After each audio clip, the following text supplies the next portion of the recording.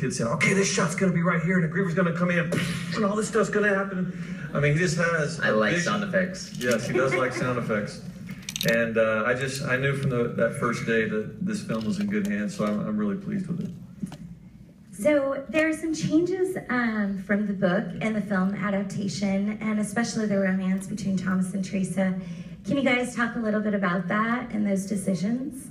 Yeah, I mean, basically, you know, making uh, a movie is very different than, than what you can accomplish in a book, and really it comes down to visual. You know, um, it's it, anything that we changed. It was about uh, something that I just felt like you couldn't do visually, but we still would always try to keep. Uh, you know, keep the, the, the spirit of what James was was after. Um, in terms of the romance, honestly, even in the book, there's not much romance. So you're kind of hinting at something that hopefully will play up. Do I look like the kind of guy who writes romance? You Totally. have a really lovely Totally. family. But it's interesting, you know, like my, my job here is really to kind of, you know, uh, hope, make a hopeful franchise, essentially. So it's there's three books in this series, and, and, and if I have my way, it's very much that. It's, it's three, it's not four. Um, beginning, middle, end. Um, Heard it here, guys. I'm gonna hold you to that. uh, but uh, Come you back know, for every what's, screening. what's great about this first one is it's a setup for you know a larger saga, a larger story, and we're working on the next one now, and we get to just continue to explore these characters and and and and, and look into some of the some of the questions that are still lingering, and um, and just you know play in this world that James created. It's uh, it's a lot of fun.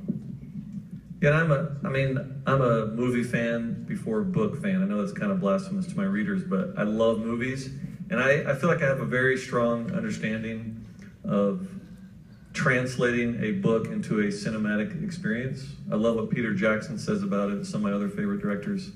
You just, whenever someone tries to literally translate a book onto the big screen, it's actually really boring. It's like watching a checklist. Oh yeah, that happens. That happens. That happens. So I was thrilled. I wanted this movie to be a way for people to experience the story in a new way all over again for the first time, but be very true to the spirit of the book and the characters. And I just think they nailed it. So, James, on that note, um, now that you've seen the story on the big screen several times, uh, is there any scene or moment in the book that the film made you view differently when you saw it on the screen? Well, the Grievers, I mean, I'll just say it, they're way better in the movie than they are in the book. you know, most people say, oh, the book is so much better in the movie. This will be the first time people are like, oh, that movie is so much better in the book.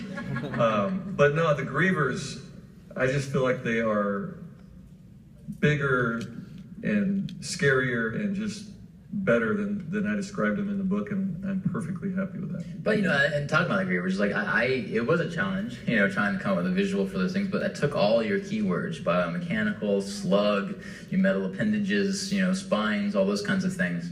So it's in there. It's just a, Oh, yeah. a, a, uh interpretation. It's definitely not a complaint. I would not change a thing. They're better than the book. That's all there is to it. I'll take that.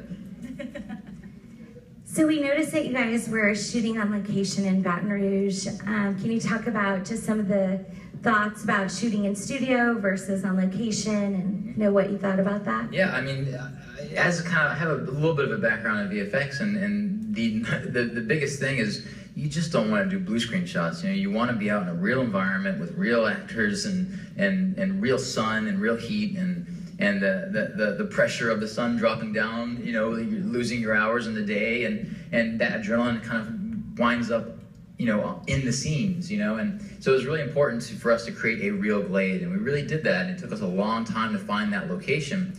Uh, we scouted a million, I mean, maybe not a million, but uh, uh, uh, probably dozens and dozens of, of cow pastures, essentially. We, we were about to pick one cow pasture, and we got kicked out because they, they had to move